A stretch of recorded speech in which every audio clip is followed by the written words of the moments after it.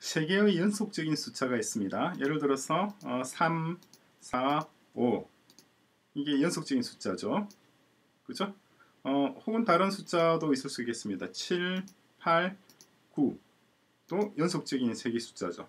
자, 연속적인 세개 숫자가 있는데 어, 이세 개를 합치는 거예요. 그래서 어, 이 녀석과 이 녀석을 합치고 다시 합치는 거죠. 7 더하기 8 더하기 9가 되겠죠.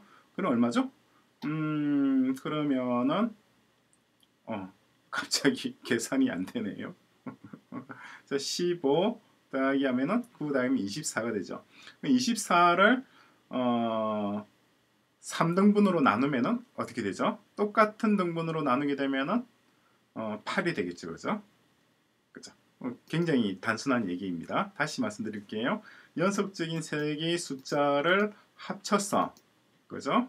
합쳐서 그걸 똑같은 어, 크기로 두 개로 나누면 어떻게 될까요? 그러면은 음, 나누기 2 되겠네. 그죠? 나누기 2 하면은 어, 12가 되겠네. 그죠? 4등분 하면 어떻게 되죠? 4등분 하면은 6이 되겠죠.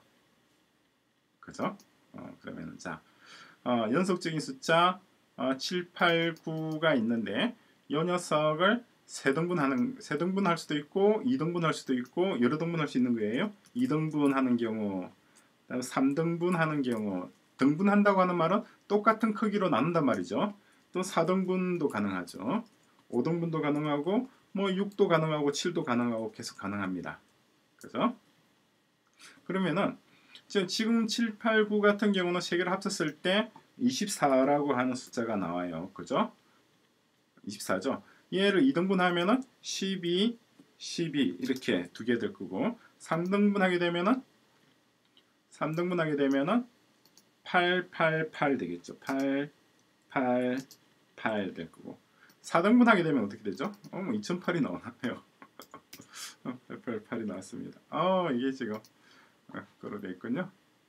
자, plain text를 하겠습니다. 8, 8.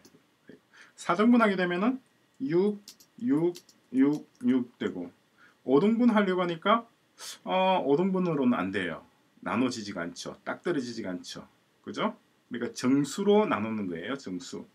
6등분 하려니까 6등분은 어 되겠네. 4, 4, 4, 4, 4, 4 이렇게 6등분 또 되네요. 그죠? 7, 8, 9인 경우에 지금 우리가 예를 들어 봤습니다. 근데 7, 8, 9가 아니고 이게 17, 18, 19일 경우에도 똑같이 이렇게 적용이 될까요? 한번 해볼까요? 일 경우에는 이건 54가 되겠죠.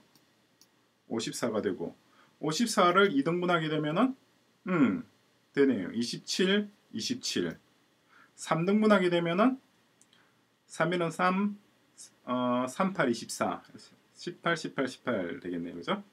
어, 그리고 4등분 하게 되면은 4로 나누면 4일은 4, 어, 4등분은 안 되네요. 그죠? 4등분은 4로 나눠서 떨어지지 않잖아요. 그죠? 5등분도 안 되네요. 6은 6으로 나누게 되면은 음, 9, 9, 9, 9 이렇게 되겠네요. 그죠? 9, 9, 9, 9 이렇게 쭉 9로 6개가 되겠네. 그죠? 그리고 뭐 6, 7등분일 경우에는 안 되고 그렇죠? 만약에 이게 어 27, 28, 29라면 어떻게 될까요? 29라고 한다면은 이번에는 84가 되겠네. 그죠? 맞죠? 60에다가 어, 24를 됐으니까 84. 2등분 하게 되면은 42와 42가 되고 3등분 하게 되면은 어, 3의 6 38, 24 28이 되겠네. 28, 28, 28 이렇게 되겠죠. 그죠? 그리고 4등분 했을 때는 되네. 4, 2, 8, 4, 1은 4, 21씩 해서 어? 21씩 4등분이 되겠죠.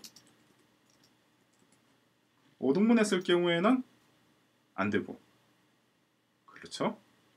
자, 이런 식으로 계속해서 뭐 이게 어, 127이 될 수도 있겠죠. 127, 128 어쨌거나 연속하는 세 개의 숫자만 만들어지면 돼요. 그래서 그러면 384가 될 거고 그죠? 2등분했을 때는 어, 192씩 두 개 될 거고 3등분했을 때는 3일은 3, 3이 6, 38, 24 128씩 될 거고 그런 식으로 되겠죠? 혹은 이게 뭐 121과 122와 123일 수도 있고 그죠?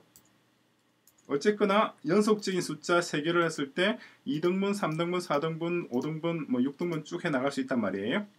자, 그럴 경우 그럴 경우에 아, 가장 크게 나눌 수 있는 그러니까 5등분이나 5등분은 안 되는 경우가 있었죠. 그죠? 안 되는 경우가 있었으니까 그러니까 경우에 따라서 5등분이 안 되는 경우가 있더란 말이죠.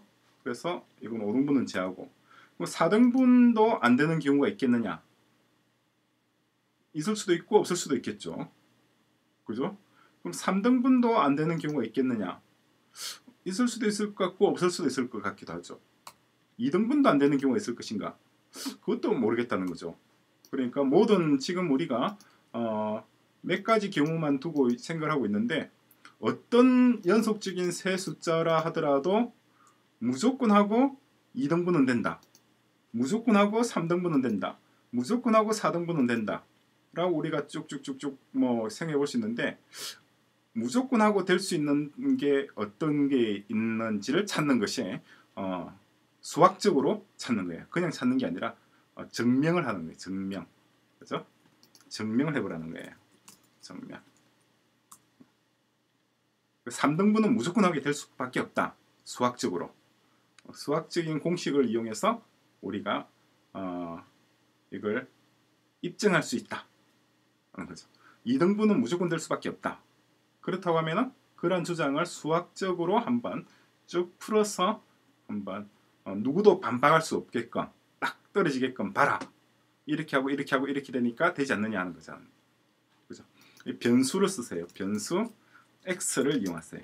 변수 x를 이용해서 어, 수학적으로 연속하는 세 개의 숫자는 무조건 하고 어떤 숫자로는 어떤 숫자 1이 되든 2가 되든 3이 되든 4가 되든 5가 되든 5로는 무조건 하고 나눠 떨어진다. 똑같은 크기의 다섯 등분으로 나눠진다.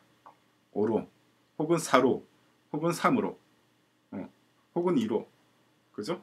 그것을 연속적인 숫자가 3개인 경우 혹은 연속적인 숫자가 적인 숫자가 3개인 경우 4개인 경우 5개인 경우 이 각각의 경우에 대해서 변수 x를 이용해서 한번 증명을 해보라는 거죠.